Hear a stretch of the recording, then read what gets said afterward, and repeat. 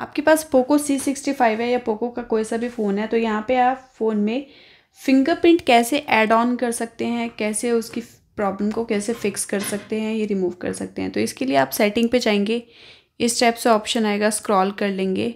Password and security के option पे आपको जाना है और यहाँ पे फिंगरप्रिंट अनलॉक का ऑप्शन है क्लिक कर लेंगे। अगर आपने फ़ोन में कोई भी लॉक सेट कर रखा है तो पहले अपने फ़ोन का लॉक एंटर करेंगे स्क्रीन लॉक नेक्स्ट कर देंगे। तो यहाँ पे फिंगरप्रिंट ऐड ऑन करने का ऑप्शन आ जाएगा। तो यहाँ पे आप साइड में स्कैन कर लेंगे। आपका फिंगरप्रिंट जहाँ पे भी दे रखा है।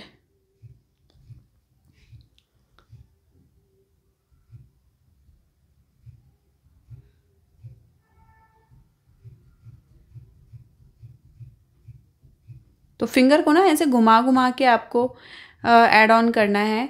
ताकि ये सही से स्कैन कर ले, जिस भी पोजीशन पे आप इसको टच करते हैं। और यहाँ पे फेस लॉक डेटा ऐड करना तो कर लेंगे अदरवाइज़ कैंसिल कर देंगे। डन कर देंगे।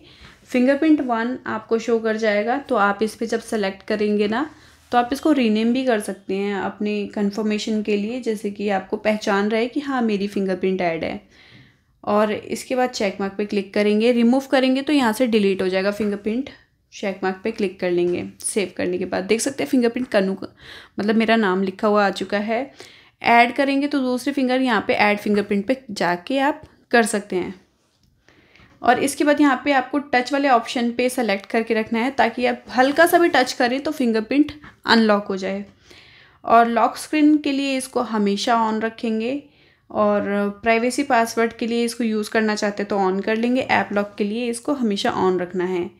फिंगरप्रिंट पेमेंट मेथड को मैं बंद रखूँगी। इसके बाद यहाँ पे कुछ नहीं करना है बैक कर लेना है। अब यहाँ पे हम फिंगरप्रिंट टेस्ट करते हैं, देख सकते हैं। हल्का सा टच करने से ही आपका जो फ़ोन है, वो खुल जा रहा है। ठीक है? अब क्या हो कि अगर दूसरा एक ऑप्शन आता है मतलब लोगों को प्रॉब्लम आती है कि फिंगरप्रिंट लॉक लगा हुआ है, लेकिन काम नहीं कर रहा है।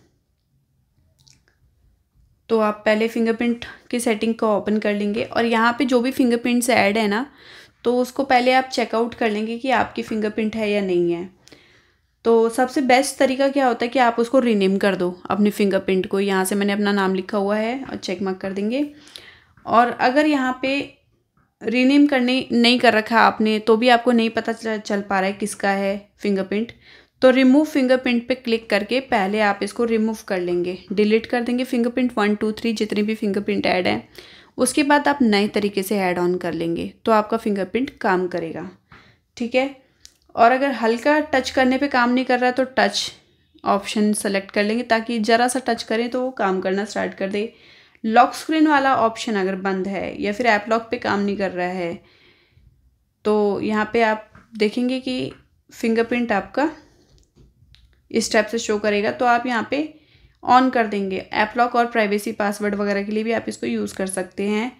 तब आपका प्रॉपर तरीके से काम करना स्टार्ट कर देगा फिंगरप्रिंट और अब यहाँ पे रिमूव करना है कई लोगों को तो यहाँ पे रिमूव फिंगरप्रिंट ओके तो देख सकते हैं डिलीट हो गया फिंगरप्रिंट चलिए मिलते हैं नेक्स्ट वीडियो में, तब तक के लिए नमस्कार।